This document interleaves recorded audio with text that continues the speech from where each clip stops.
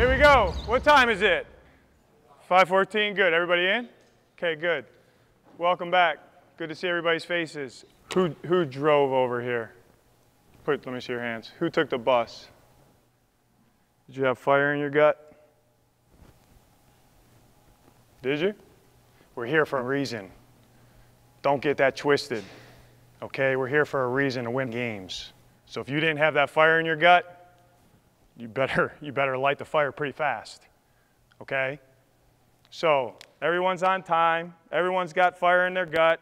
How you go about your day is going to be critical for our success as a team.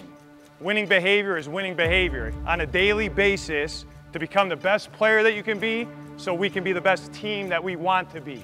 Don't show up a minute late, I'm fining you. Because you're not putting yourself behind the team. You're putting yourself in front of the team if you do that, and it's bull because your buddies are counting on you. You understand? Jeff's counting on you. Nick's counting on you. I'm counting on you. Hump is counting on you to do the right. So do the right or we're going to get waxed. You understand? Truthfully, if you said, hey, JG, what do you want your team to look like? I want them to be killers. Truthfully, silent killers. Killers. Okay? So be who you are. Just understand, I'm looking for killers.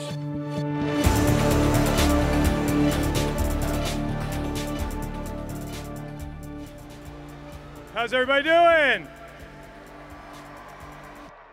We appreciate you guys, everybody being here. The players are excited. Since I started coaching, uh, I've never worked a day in my life. Like, it is fun for me to come to the office. I'm just going to be who I am, but I'm excited about walking through the door every day. So uh, I let that show.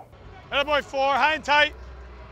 Ball security, ball security, attaboy go. Oh, good run. Any free time that I have, if I got 10 or 20 or 30 minutes, I'll just put on some tape and watch. You know, as you watch, you let things kind of hit your brain and you think about certain things. I always take notes, you know, when I'm when I'm watching tape. It's a happy place for me because the best thing about this job is the players. So anytime I can watch the players and, and watch them, and the more and more you watch, I think you have a better understanding of what they're out there doing and, and how they're playing as, as players, and hopefully we can help them a little bit. Bad players, okay, watch the tape on Monday. Good players, watch the tape before Monday. Great players, watch the tape before Monday, talk to your teammates, text your coaches, and have questions when you come in here on Monday. That's what's expected off of a day off or after a game. We have to learn from what happened. We're going to be adaptable um, because I think that's where the game is in 2023. And a game. Hey, you need a touchdown, 258 left. Okay. Defense, come here, come here. We want our guys to be versed with things that are coming up, things that are happening, things that opponents are trying to exploit, and things that we're trying to exploit. So, but you have to talk about it and teach them and educate them so they're on top of it when it comes up in between the white lines. You got 258. They need a touchdown to win. Just understand the situation. They need a touchdown to win. The pressure is on them. You know what I'm saying? Jesuit education is comes down to servant leadership and I, I think it applies to being a coach. That's ultimately what your job description is, in my opinion, is to serve the players. So learn that, obviously, when I went to St. Ignatius. Um, my high school coach, he wrote a book called Object of the Game. And all the chapters basically deal with, in one form of fashion, team first. See that number two on it right there, in the back of it? There it is.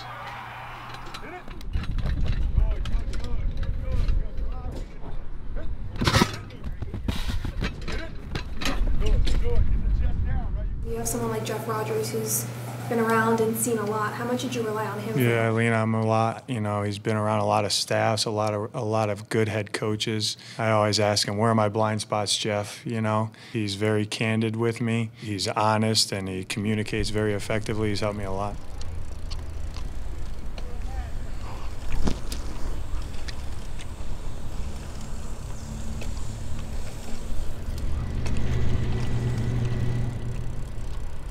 I was in Denver from 11 to 14, and there's a couple guys in our staff that rode. My brother was on that staff.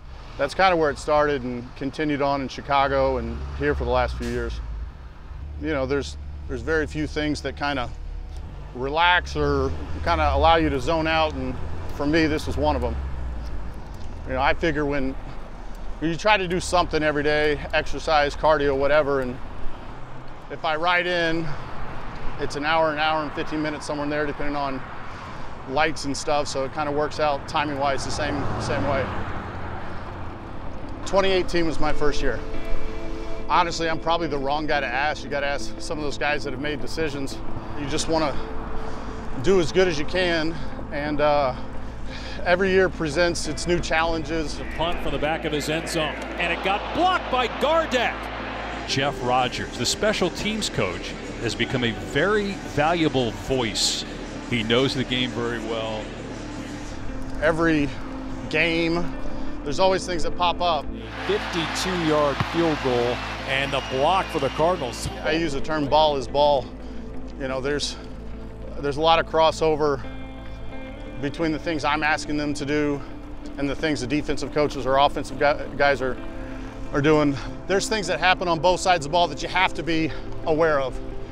And I think special teams coaches, other than the head coach, are probably the guys who have to be proficient at knowing the situations, knowing how the game management stuff plays out, timeouts, all those things. I mean, the return game is an offensive play. You got the ball in your hands and you're trying to score or create yards.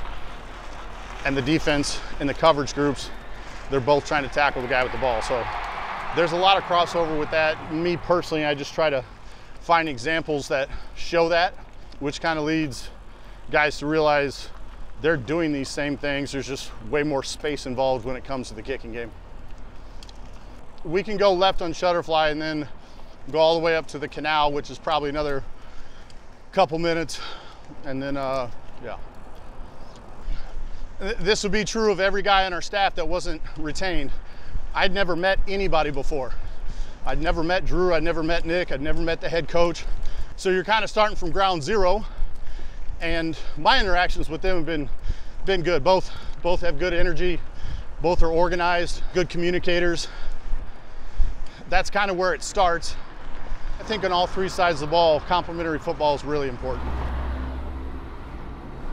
I've always believed this, and the head coaches echoed this. Really good teams, the locker room takes over. So you kind of provide some guardrails on how we're going to do things and coach doesn't have a ton of rules. It's just put the team before yourself and kind of empowering those guys to lead the way that um, they feel like they need to. And the culture part of it is yet to be determined because you got to start playing games and sustain success over time.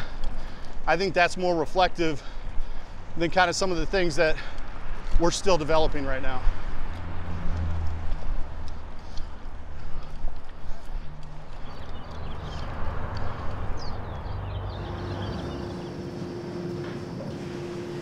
The Cardinals will be in Minnesota. Two joint practices plus a preseason game Saturday. These two practices may be the two most important practices of all of training camp.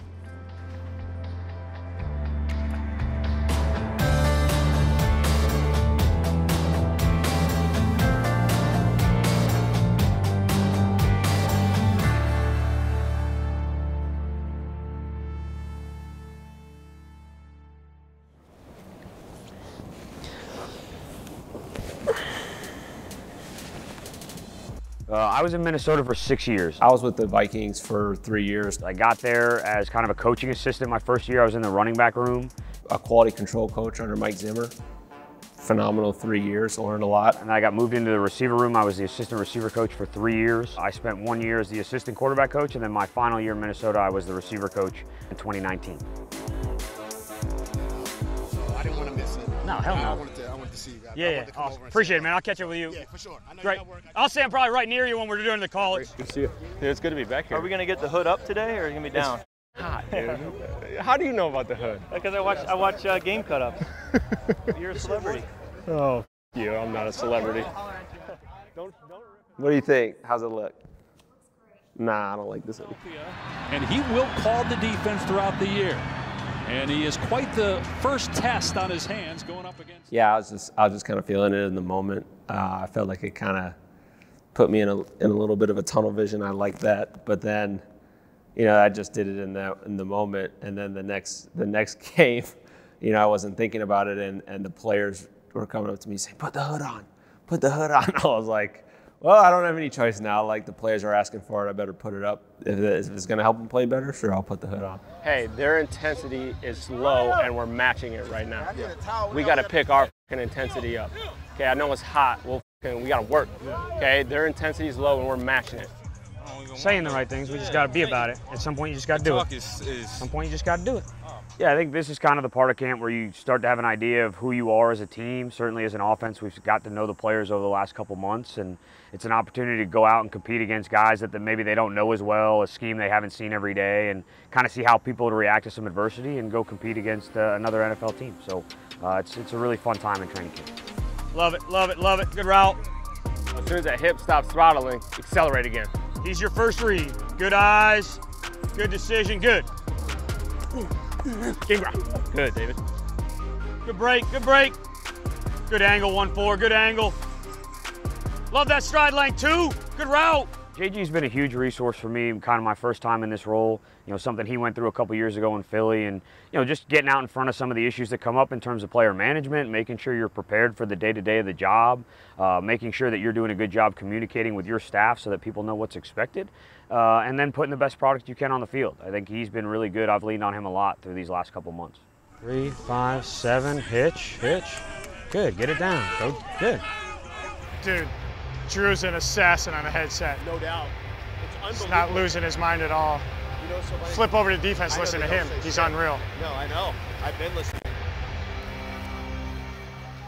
I learned a ton from him with our in our two years in Philadelphia of feel throughout a game, understanding a play caller uh, that you're going against and his tendencies and when certain things are going to happen throughout the game.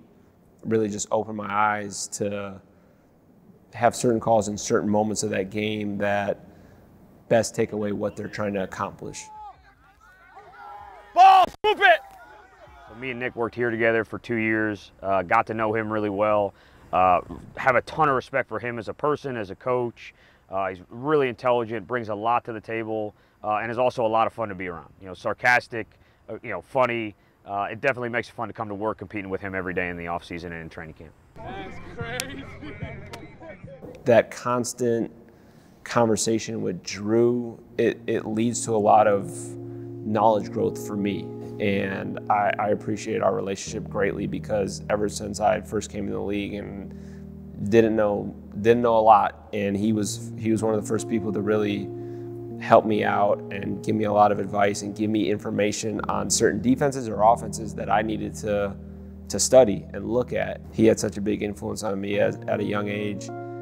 That's a huge two-way street. I mean, anytime that I can gain the perspective, hey, why are you doing this? Why are you playing that front? You know, why do you feel like that's hard for us? Uh, it gives me a little insight into how people may attack us on defense and how we need to be ready to or prepared to handle those type of things. So he's someone I know I can lean on that. He's gonna be he's gonna give me an insightful answer and help me understand that situation. Here we go. Here we go. Communicate in and out of the huddle. Let's go. There it is. Good job. Stay with it. Go get it, Kei'Trel. Good. Had a baby, Kei'Trel. Ah. Ah.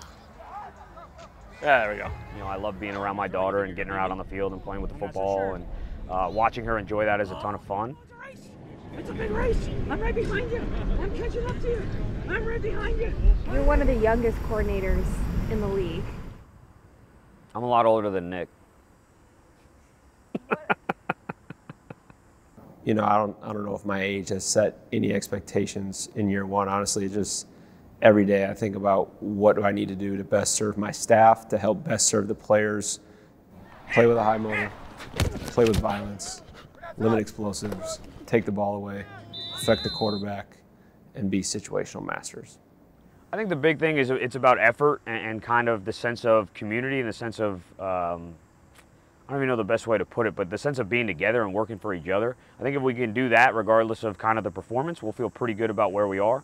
And usually, if you do those two things, the performance takes care of itself. So I think really energy and effort and kind of that sense of team is going to be really important for us. Six eight, we good? Hey, you've been through a lot of this. Be there for these guys. They, they haven't been through this. Some of these young guys are going to be looking around like they never seen. We got our ass kicked today. Yep. But Some days you get the bird, some days the bird gets you. just make sure those young guys see it and they hear it from you. All right. You've seen a lot of good and bad. You know what it looks like when it's going right and what it looks like when it isn't. So my big thing won't be we can't we can talk about it, but that's not what matters. We just got to be about it. So and I think we can own that. Ultimately, we want to give them the blueprint of how we want to operate on a daily basis. And then the great teams I've been around, the players take it over. The coaches, they kind of make sure that the, the, it's functioning the proper way, but the players ultimately take it over. As a whole, I mean, everyone's, you know, caring about each other. You know, everyone is working hard, very hard, offense, defense, special teams. Just the accountability has been very great for us and great for the young guys coming in because they're understanding what a, what a good culture looks like for an NFL team. You have to set yourself aside, your individual goals and what you want to do as a player for the betterment of the team. And typically, when you do that, you end up accomplishing your goals and becoming the best player you can be. You either win or you lose when you put on that helmet, but uh, you know I think that's the consistent winners put themselves behind the team. Team first.